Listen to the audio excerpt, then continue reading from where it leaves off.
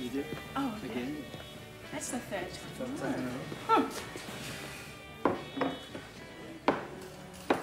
They smell delicious, Granny. They are delicious. Didn't take any dark magic either. Oh, and uh, I charge extra for the pickles. Mm-hmm.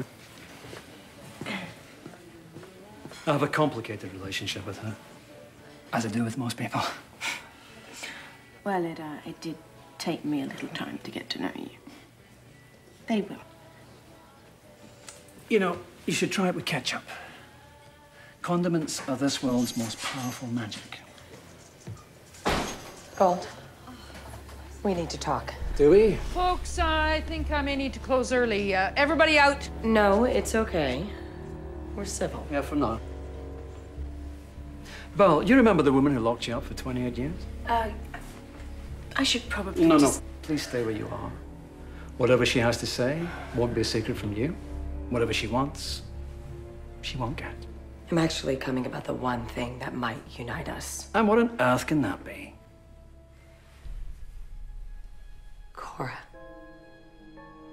She's coming from our land. I need your help to stop her. But she was dead. You told me you saw the body. Apparently, you taught her well.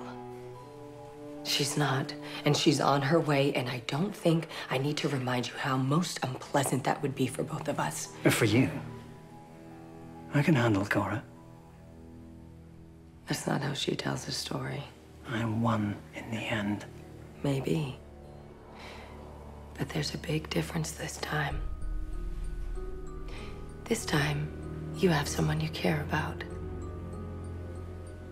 This time, you have a weakness. I'm who, who is this woman? Someone you'll never meet. So you say she's coming.